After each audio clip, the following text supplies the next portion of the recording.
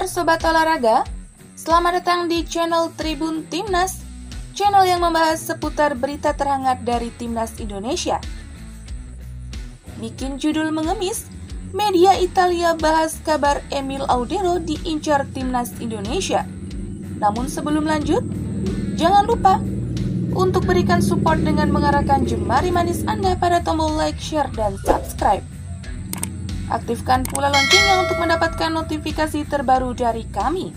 Jika sudah, mari kita lanjut.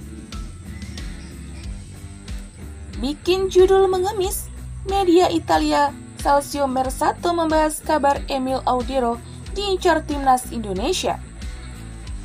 Calcio Mersato memberi judul Samporia, Indonesia menginginkan Emil Audero.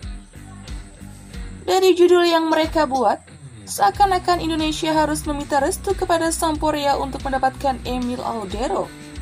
Padahal, mau atau tidaknya Emil Audero membela timnas Indonesia ada di tangan kiper 25 tahun tersebut.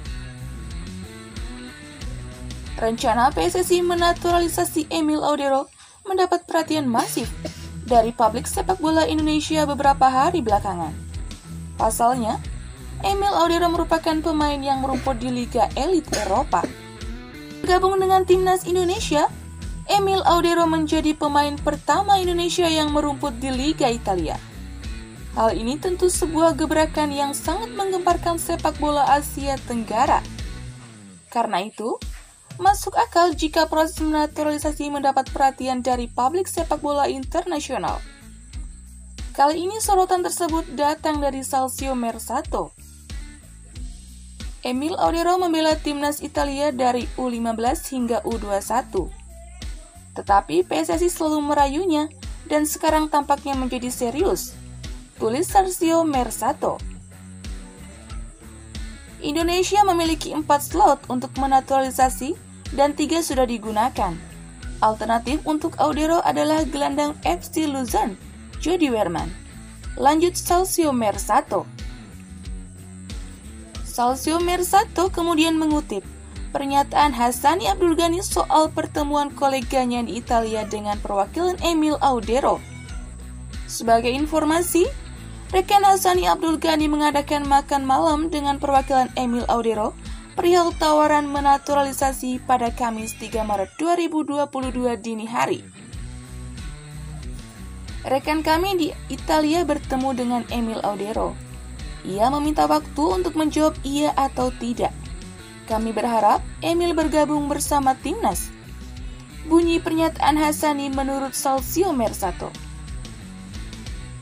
Nama Emil Audero tercantum di daftar prioritas PSSI dan Sintayong untuk menjadi pemain keturunan selanjutnya yang dinaturalisasi menjadi warga negara Indonesia.